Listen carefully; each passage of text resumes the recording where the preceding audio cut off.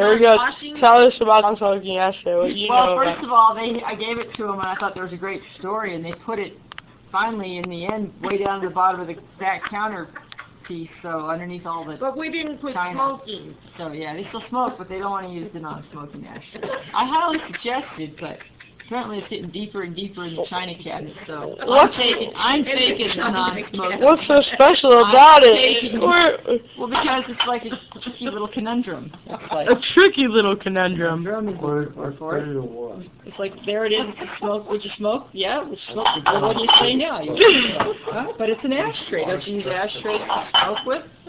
Yeah. But why did they put it like this on the table? It's like that on the table when I got to the hotel room. It's like, huh? What a screwy little message. What?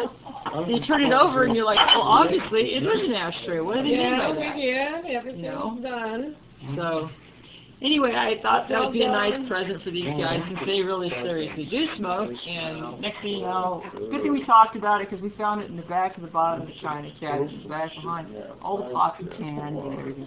Obviously, I'm taking it back. Oh, I'll take yes, back. taking it I'm trying to take She's back gonna the be non- an Indian giver. That I'm gonna Indian wrestle you. We'll have an Indian wrestle and we'll see who's the winner. Winner keeps it.